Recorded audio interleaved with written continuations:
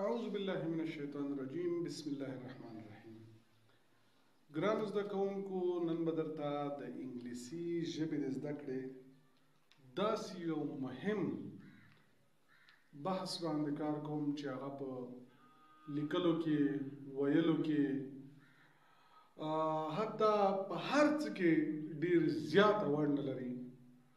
په هغه باندې به کار کوو کوشش وکړئ انتهایی غور سره دغه ویډیو وګورئ لایک یې کړئ او مرګرو سره هم شیر کړئ هغه بحث څه درازو نن سپیلینګ رولز ده لمړنۍ کامن کامن خبرې کوم کچیرته په کوم لفظ کې آی او ای دواړه یو ځای راځي نو موږ د دوی په اړه باندې مشوش کیږو چې آیا لومړی به آی راځي بیا به ای راځي کنا لومړی به ای راځي بیا به آی راځي نو د دې لپاره داسې کانسپټ دا کله چې لفظ سی پسې دوی دواړه راتلل نو بیا به په هغه ځای کې سی آی وي لکه ریسیو ولی دلته سیدا او سی په سی دوی دواړه تور راغلي نو لومړی به ای راځي یعنی رول چې سو سی پلس ای آی اما که چېرته د سي نه علاوه بل توري پسې راغلي نو بیا به لومړی چه راځي آی به راځي بیا به ای راځي لکه believe دا لفظ یو بل خبره ده که چیرته आवाज د دوی دواړه یو شان ته وي په یو توري کې نو هغه هم بیا پم دی رول راځي لیکن یو لغات چې هغه ساينس ده دا لدغه قاعده څخه استثناء ده وګورئ چې سی پسې دا راغلی نو پس مونږ ویلی شو کله چې ای آی دواړه د سی پسې راغلی وي نو لومړی به ای بیا به آی او که د سی نه علاوه وي وداوټ لیټر سی وي نو بیا به دا کانسپټ وي چې اول به آی راځي بیا به ای راځي په خبره مې سر خلاصېږي که نه تکړه شي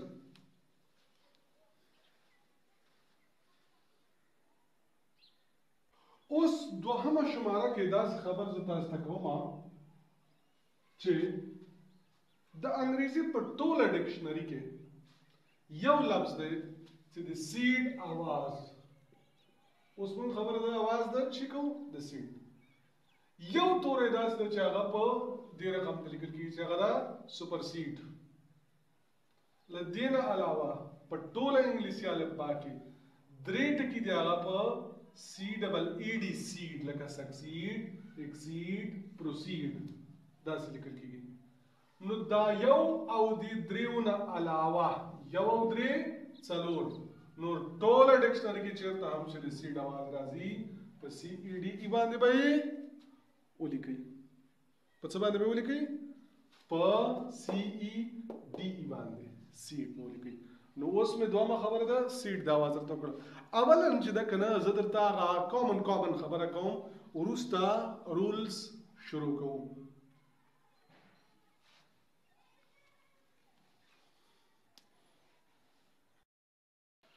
اوس راځو په دریم نمبر کې خبره کوو د واوی توري یو خبره به تاسو د سفکس او د پریفکس او د دیو د ګرامر کلاسونو کې اوریدلی ورستاړی دا ډېره یوه مهمه موضوع ده، کله چې د یو لفظ په آخر کې وای راغلی وي او د هغې څخه د مخه چې شوي واول وي لکه فرض مثال پلې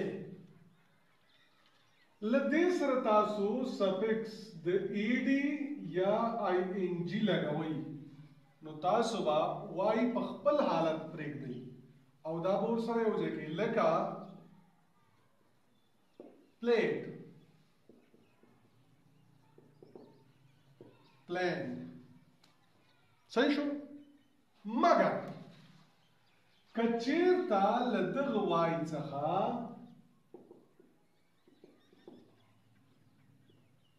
د اخرنۍ وای څخه د مخه واول نه وي نو بیا به څه کوو بیا هم که چیرته سفیکس د آی څخه شروع وو که سفیکس د څه څخه شروع وو د آی څخه نو بیا یې هم په خپل حالت ولیکئ لکه کرایب جمع موږ ورسره سفیکس فرض کا آی ان جی اچو نو ډایرکټ به څنګه ولیکو کړای. اما که چیرته سفکس د آی څخه علاوه وو نو بیا به دغه اخرنۍ وای په چی بدل کو آی باندې په خبره پوه شوي دا به چې کو په آی باندې بدله کو او ایډي به ورسره واچو خبره باندې پوهیږي کنه تکړه سي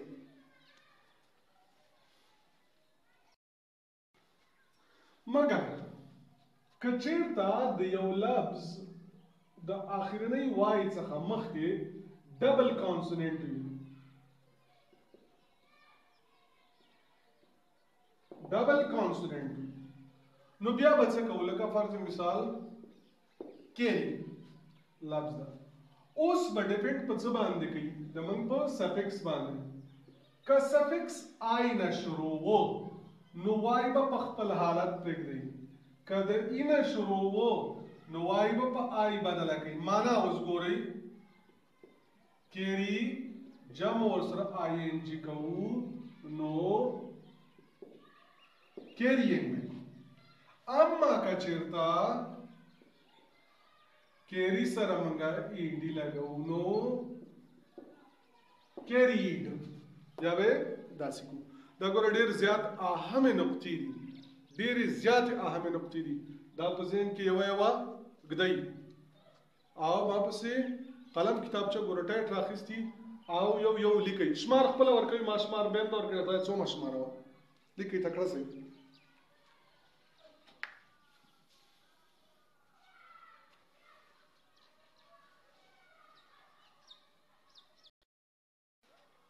اوس راځو بل شماره کې موږ د سایلنټ ای خبره کوو دا د لفظونو په اخر کې زیاتره جینو کې داسي ای راغلی وي دا ګور ډیر د کمال توره ده ډیر د کمال توره ده یو یوز خو دا د ټول نه کامن چې منځنی واول आवाज وګدای لیکن خپل د چې دا ساکن دي ته سایلنت ای ویل کیږي لکه فرض مثال هوم او پلان پلان څومره څه تاسو ویل شي که چیرته د لفظ په آخر کې دی راغلی وي څه شوي دی راغلی وي نو تاسو به ورسره څه کوئ کله چې ورسره سفکس یو ځای کوئ نو دا به ختم کوي لکه لفظ دا ټایپ نو کله چې موږ ورسره آی ان جي او ځای کوو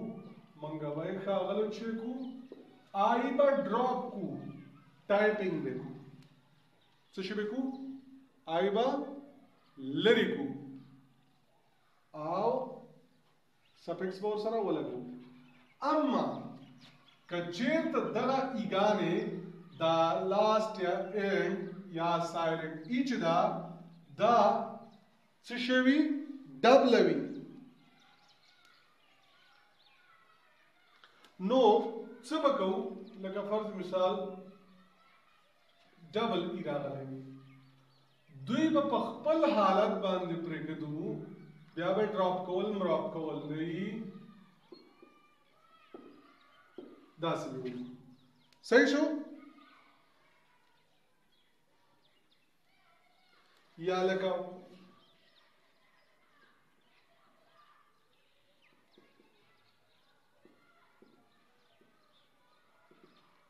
سینګ ملاقات کول سینګ چې ویل کېږي ملاقات کول ګوري د یو شي تم پام وي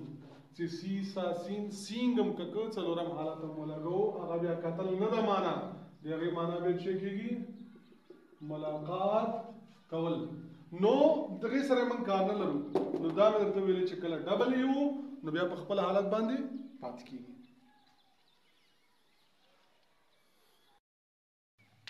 لیکن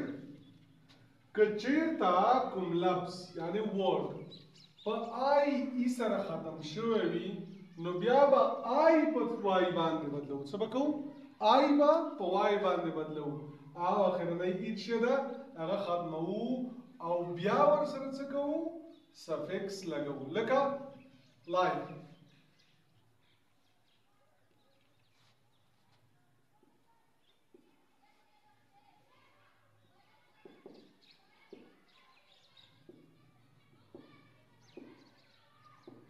څه شی مو کول آی مو په وای بدل کړه او ایمو ختم کړله دا کوم وخت کې کیږي دا په هغه وخت کې چې کله د یو لفظ اختتام په آی ای سره شوی وي او نو په دي صورت کي به آي په واي بدله کړو او ای به ختمه کړو وروسته له هغې به ورسره څه وکړو سفکس ولګوو اوس په داسې قدم باندې خبره کوو چې کله کله تاسو سفکس یو ځای کوئ د لب سره نو آخرنۍ کانسوننټ کله ډبلیږي دا څلور قدمونه لري. اخرنی کانسوننټ هغه وخت ډولېږي کله چې وروستاړی یې د واوېل څخه شروع وي، یعنې سفکس څه شي نه شروع وي؟ د واوېل څخه. دوهم قدم په کې دا ضروري ده، لفظ باید دا کوم چې موږ ورسره وروستاړی لګوو په اخر کې سنګل کانسوننټ ولري. بل قدم یې دا ده چې د سنګل کانسوننټ تر مخه باید سنګل واول موجود وي او یو سیلابه وي او فشار په اخرني توري وي دغه شرطونه کچیرته پکې نو منګي با اخرنه کانسوننټ دبلو لکه اوس لیکلي دي رن منګ ور سره آی ان جی لګو قدمونو ته وګورئ اخري توری سنګل کانسوننټ مخکې سنګل واول لفظ یو سیلابه فشار په اخرینی ان څلور اړه قدمونه دي کنه دي نو سمپلی به تاسو چې کوي ضرورت نشته د بحث ته او سوچ ته کټ سنگل کانسننټ سنگل واول ون سیلیبل او لاست لیټر پریشر آی ان جی چې کله ورسره لګو نو چې به کو کټینګ دا ګوره ډیر ضروری رول ده اما کچرته په لاس توري باندې فشار نه وي لکه انسر صحیح شو انسر فشار به شي په اس ده نو بیا به چیک وو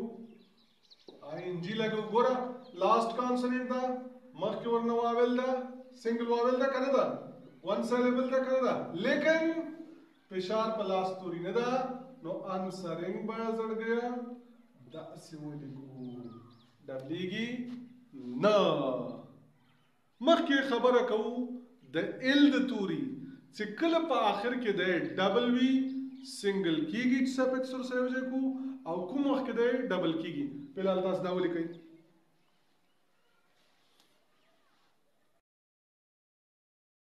ښه بل دا چې کچیرته د کوم لفظ په اخر کې د ال تور راغلی وي نو کله چې د دې سره موږ سفکس لګو نو خامخا به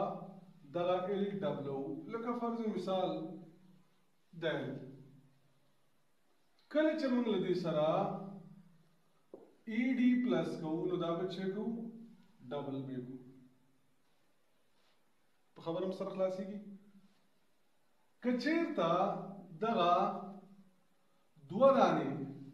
د آخرني کانسوننټ یعنې د ال څخه د مخه ډبل واول راغلی وي لیکن د دواړو اواز چې وي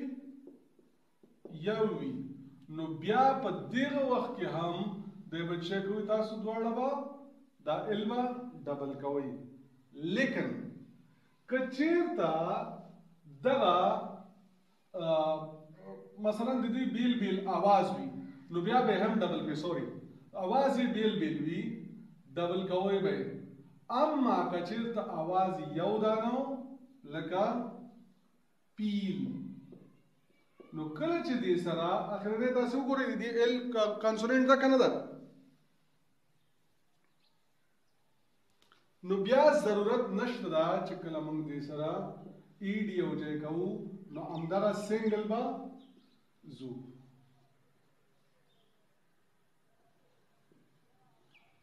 ډبل واول وو لیکن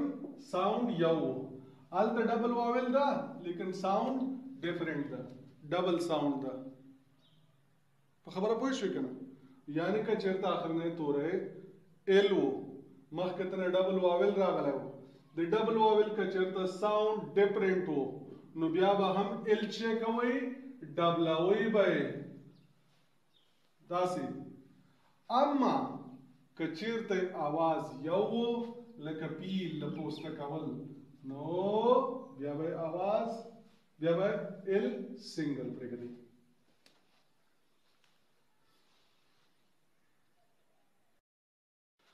اوس دې قدم کې مونږه داسې توري وي چې ډبل وي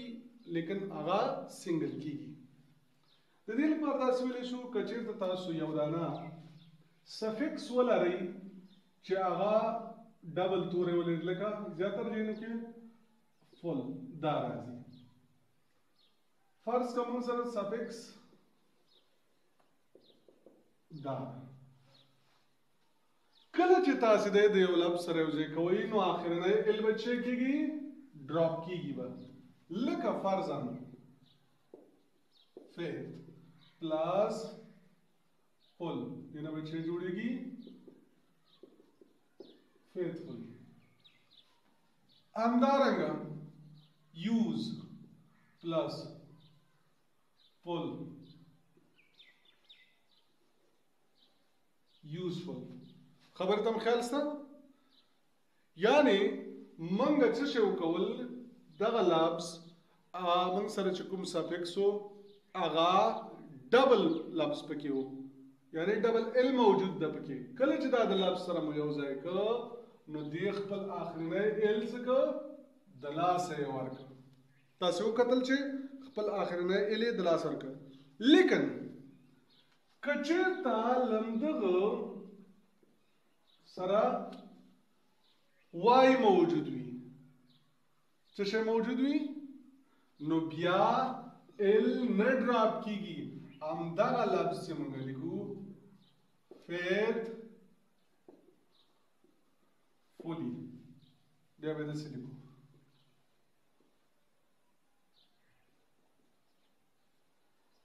یوسفل تکه مثال مې درته ویل چې سر تاسو باندې پوه شئ ولې دا ونه شو د دې د موجودیت له وجې په خبره باندې مې سر خلاصېږي ډېر زیات دقیق متوجه اوسئ دا بار بار وګورئ بار بار یې تکرار کړئ ځان سره دا ډېر اهم دي لیکن که چیرته په دې ورډ کې هم اخرنی ټکی لام ولري لکه فرض مثال سکل لدې سره کله چې مونږه اف یو ډبل ال یو ځای کوو څه شی به کیږي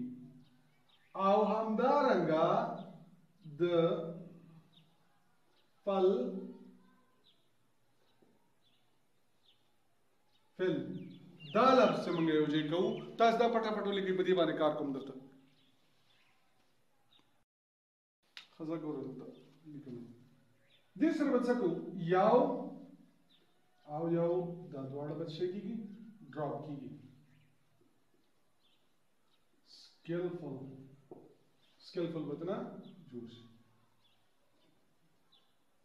پنفل به دې نه جوړ شي صحیح شو دا کوم وخت کې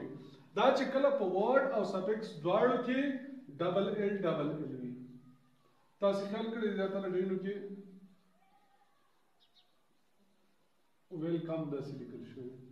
لیکن کله چې دا یو ځای لیکي لیدلیم دي کنه یو ال ډراپ شي یو ځای چې ولیکي یو ال با ډراپ شي تکړه سي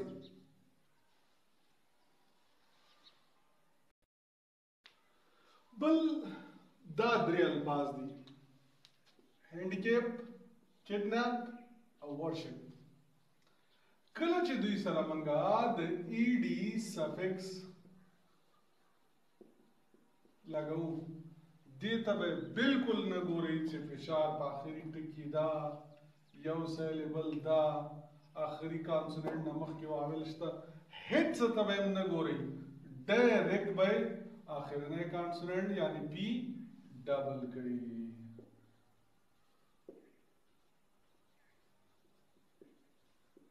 صحیح شو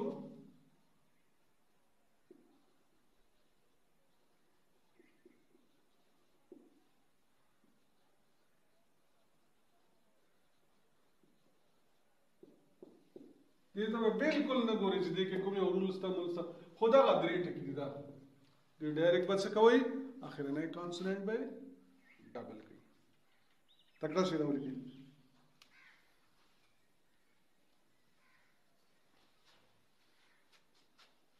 ښه ولیکل شو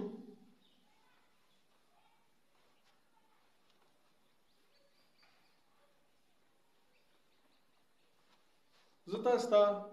په ټول رولز باندې کار کوم ان شاء الله دې پسې ورسته د پلورل خبره کوم بیا پسې د سایلنت خبره کوم لیکن بیا هم تاسو ته کوم ځای کې کوم شک پیدا کیږي د کم توري لپاره نو هغه راوړی مشکل نشته هغه درته کلاس کې کار کوم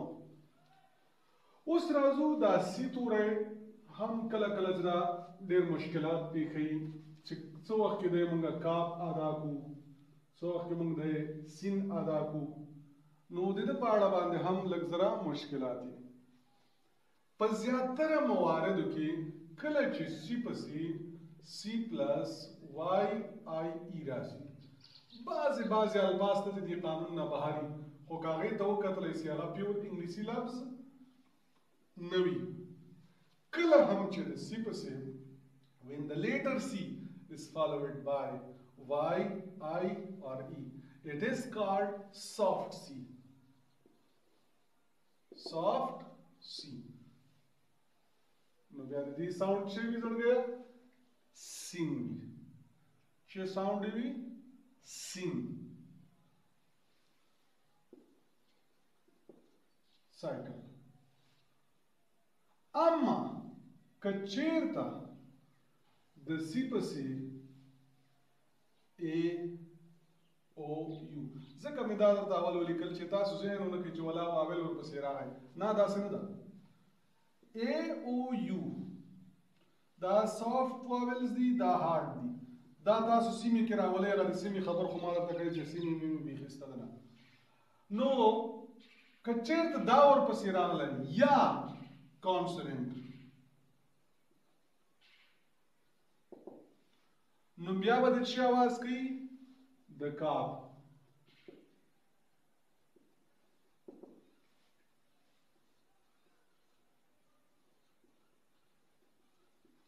ګوره لکه یو آر او دا شي نه چې ورپسې راغله نو بیا به د کاپ اواز کوي د څه شي اواز به کوي که چېرته ورپسې ای او یو دا راغله یا کوم بل کانسوننټ ورپسې راغی نو سی به څه کوي د کاپ اواز به کوي ټیک شو آی ولیکئ بل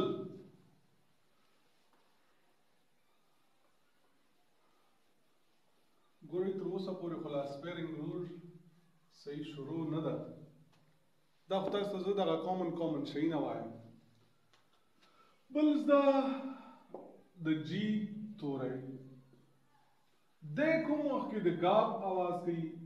او کوم وخت کې د جیم اواز کوي کله چې د جي توري پسې ای، آی یا وای راشي نو د جیم اواز کوي او کله چې پسې ای، او، یو یا اور کانسوننټ راشي نو بیا د چی اواز کوي د ګا اواز کوي لیکن که داسې ورپسې راغی جیم که داسې ورپسې راغی جیم دال معنا که یو بل بدلې دي ظاهره خبره ده نو مطلب دا ده کله چې د جی تورې پسې ای آی وای راشي د جی مواز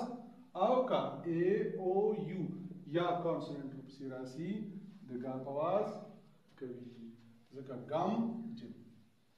داسې داسې نور مثالونه هم کتلی شي خبره هم سر خلاصېږي یو بل هم خبره کوو دا تاسو زر زر ولیکئ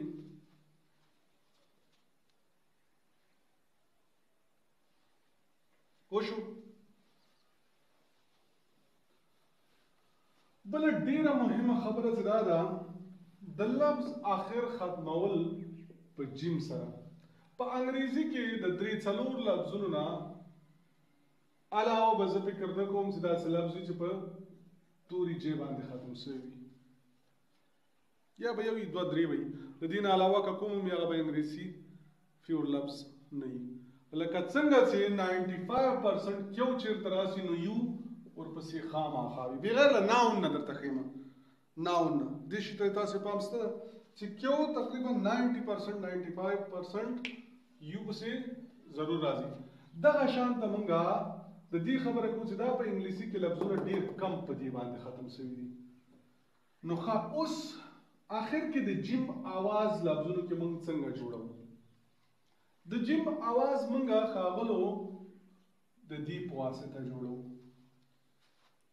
چش پاسته جوړو د دې پاسته لیکن موږ د جیب आवाज د دې پاسته هم جوړو لیکن اوس انسان حیران ده چې د لفظ په آخر کې جیم راغلی ده مونږ کومه سلا ورته جوړه کو دی باندې ولیکو که په دی باندې ولیکو ډیر اسانه لاره ده کله چې د دغه جیم څخه د مخه آواز یا کوم توری چې وو هغه لانګ واول ساوند وو نو بیا به په آخر کې چې لګو دا بزرګ په لګو لګا پیج چې پیج تاسو په تاسو اوس سلګونو مثالونه پیدا کولای شئ اما کله دې څخه مخه د واول اواز شارټ وو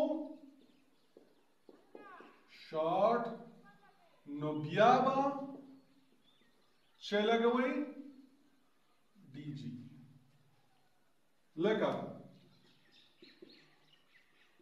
فرج برج کالج نالج څومره لفظونه دي نو چې تاسو مخکې دغه شارټ یوازې آی نه ګور دا ځین کرانه ولې چې یوازې آی به شارټ आवाज ولري تاسو وی چې ولا چرته آی راتلو نو موږ به ځاتیو پسې دا لګو نه ساوند ته وګورئ چې لنډ اواز وو نو تاسو به چې ولګوي ډي جي ای به ولګوي او که چېرته ساوند اوږد وو نو تاسو به ای ولګوي په خبره هم سر خلاصېږي تکړه شي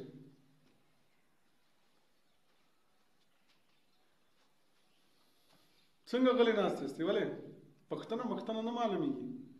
او که صرف انجوای کوئ لیکئ ته لیکل لیکلو سره به دې کې کور کې لفظونه ګوري تاسو اچوئ دا تاسو ګورئ چې کوم لفظ داسې رښتیا ده که نه ده که موږ هسې لګیا یو دا یو یو د کاڼي کرښه ده پوه شوئ ښه دا یو بل وایم بس ختموم بیا به نور بله ورځ وایم لفظ په کاب باندې ختميږي اخره کې په شي باندې ختميږي په کاب باندې اوس دا تاسو په کا کې ختموي او کا په سی کې ختموي بیا ټینشن سي دلته چې اوس موږ دا څه شي وکړو یار سی کې ولګو کوي واځي کې ولګو ډیر اسانه خبره ده بیا هم لدین مخ کې تاسو ساوند چک کړئ کچیرتا لانګ واول ساوند وو نو تاسو څه ولګوي لکه کیک نر غوندې کې ولګوي یا خطي بس یې لګوي یا څه لګوي هم سي صحیح شو پاک نور لفظونه څومره څه لګوي تاسو مقصد مثال نه تاسو خدای دې نر کې پکې واچوي چې غلط سو بیا وایي لیکن که چیرته شارټ ساوند وو